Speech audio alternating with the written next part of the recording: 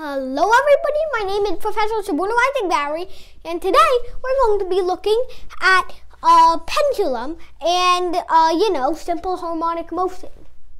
Now we learned Down this side of Sherry. now we learned last time that a spring in a simple harmonic motion a spring simple undergoes harmonic motion. Okay, so so this obviously raises the question. Since pendulums are common in our everyday world, just look at uh, one. I have an example right here, the mic wire. This obviously raises the question. Do pendulums that oscillate the same way, do they uh, obey simple harmonic motion? Now, for starters, we're going to use an idyllic. We're going to be using an idyllic string. Obviously, pendulums don't last in the real world uh, infinitely because of the sa- same reason springs don't, air drag. But we're going to eliminate both air drag and air resistance and assume that these are ideal strings that don't get affected by them. God damn, the highlightering is getting way too used. Okay. So remember that these are idyllic. I repeat, idyllic. So now, so now that we know that, oh God. So now that we know that, we are going to ask the question. Does a pendulum fall under a category of, of a perpetual machine that follows SHM? So I'm just going to change the color right over here. make a sound? I never knew that. So does a pendulum obey SHM? We're going to find out. So let me put the answer in green.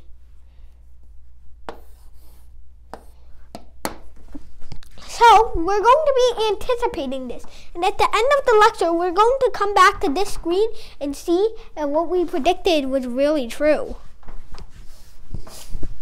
So, as you may have noticed, we're using a smartboard for this lecture, it's pretty cool. So, uh, uh, this was a $3,000 uh, Samsung smartboard.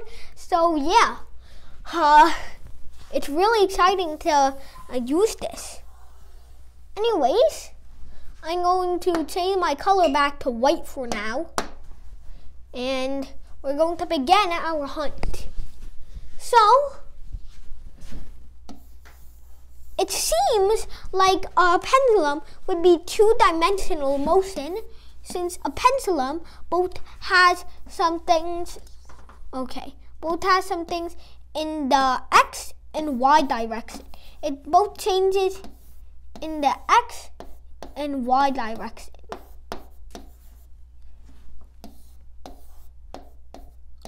so yeah now it seems like it's two-weight, but the reality is it's actually very one-dimensional. Sorry, I accidentally erased part of that wall there. So, um, how is it, you know, one-dimensional, you may ask? Well, think about angles. Let's say we draw a line here. So, if we draw a line here, here and now let's change our color to maybe blue. Wait, you can change it to black on the black background. That's hilarious. So let's draw a line. Hmm. So, uh, now we have something like theta over here. So theta is over there, and now we have this mass M. There's this length L of the cord, and that's really all we're given. Now, let's first solve, I'll find some of uh, Newton's law in uh, terms of angular stuff. So uh, the angular equi- equi- you know, the angular equivalent of uh, Newton's law is equal to sigma torque. All of torque must sum up to IA. Oh no, I alpha. Why you may ask? Okay, so I'm just gonna scroll down. Why you may ask? Well, mm, it's because uh, this. Uh, so remember, this is angular acceleration. So uh, that's the acceleration uh, exerted.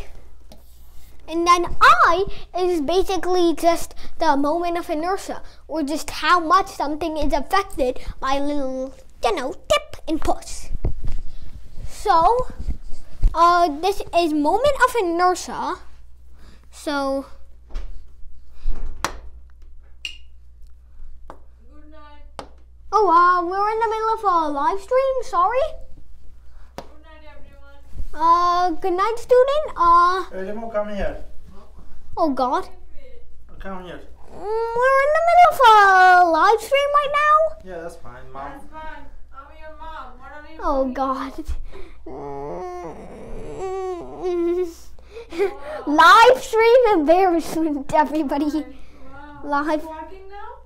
It's working now? Yeah. It is uh, working, but if we put it on the table, if it gets to the ceiling, it doesn't work. So why don't you put it then like that? Then, oh well, we can talk about it tomorrow. Before good night, baby. Live embarrassment, everybody. Uh, let's just ignore what all happened and just move on. So, we know that this is equal to, I believe this is moment of inertia.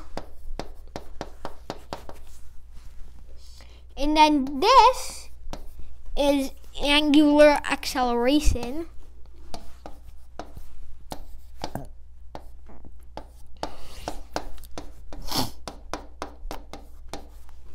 So, this is uh, what we have now. What the hell is this? I'm just gonna wipe everything over here, sorry.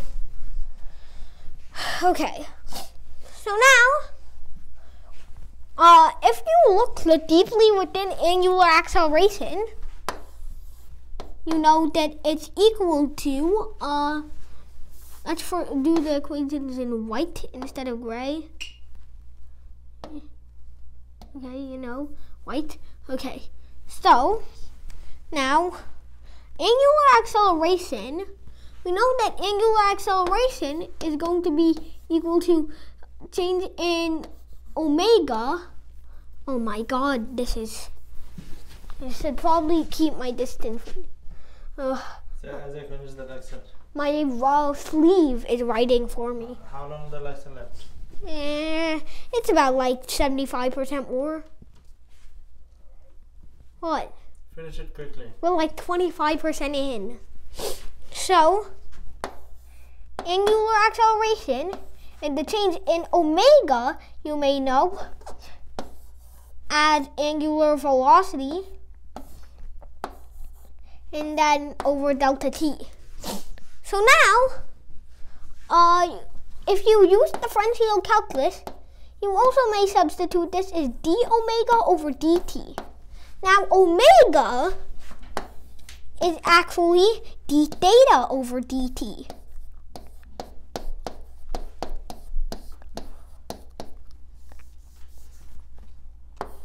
Which gives us acceleration equals to d squared theta over dt squared.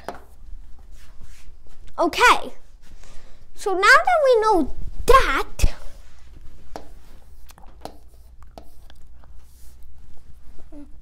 what the hell? Why do these keep popping up here? Do you have any clue? Sorry. So that means the torque is equal to I d squared theta over dt squared. So that means that, okay. So now, let's look at the perpendicular distance. What is the perpendicular distance, you may ask? Well, gravity is being exerted this way, right down. And for, oh God, uh, is there an undo button here? Eh. Okay. Sorry, everybody. So now, this is where mz is being exerted, and it's being exerted from the center mass right over here. I probably should have drawn that in red. Uh, no need to be too impatient. Okay, so that is our center of mass, and then uh, that's where it's being exerted from. What the hell? Finally.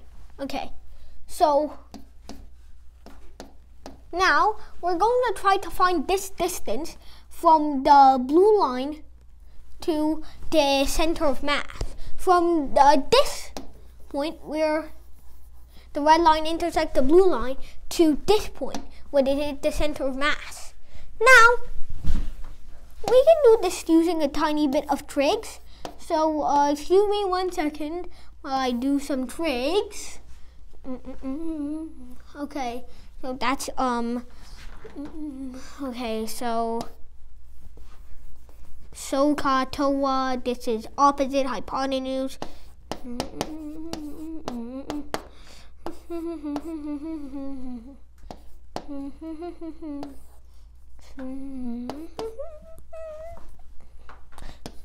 Okay, so x. mhm.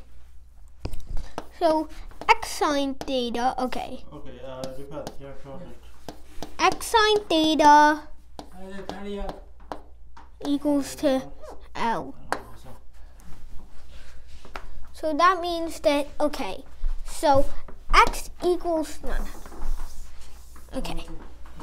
So so SOHCAHTOA sine is opposite over hypotenuse. I'm so dumb. Okay, so that was opposite over hypotenuse. That means x over, okay. Sorry, don't, no need to be hasty. X equals to L sine theta. Like uh, a few uh, minutes left. So x equals to L sine theta.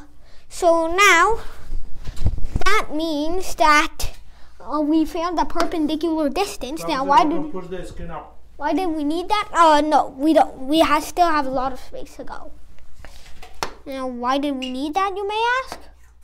Well, that's because uh, we're going to need that because torque, the torque of gravity is going to be the force exerted by gravity times the perpendicular distance the gravity goes.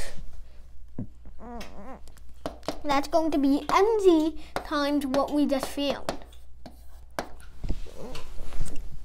So now we have this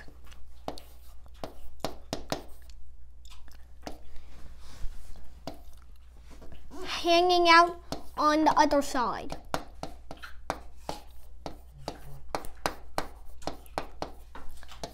Okay, so now uh, what would we do here, you may ask? Well, I, so first of all, there's a lot I want to do here, honestly. So, first of all, what I would just say I would do, what would be on my top list, be doing this. Eliminating I from that other side so we can make this a little easier. Now, I, I believe, was m l squared uh, l squared. Uh, no, it was m r uh r perpendicular squared.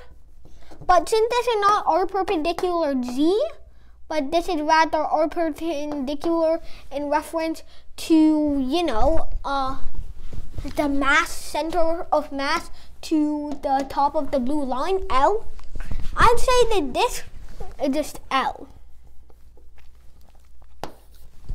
Now, if you use that logic, you can uh you can thereby do this. So do that uh, with this with this. Now I only crossed out the exponent there, not the actual L. Okay. So that gives us the differential equation d squared theta over dt squared equals negative d sine theta over L. Now, this is grand. If you look at the differential equation for uh, for uh, regular springs that follow har simple harmonic motion, you'll see that it's the exact same except for one little tiny difference that makes all the difference. There's a sine theta here, which means thus that this is not true. All of this, that means that all of this was a useless cause. Oh God, I thought it was about to slip for a second. That means that this does not follow simple harmonic motion. Thank you everybody for watching and I'll see you next time. Subscribe to Bari Science Lab and hit the bell that shows up for even more notifications when we make a video. Thank you for watching. Bye!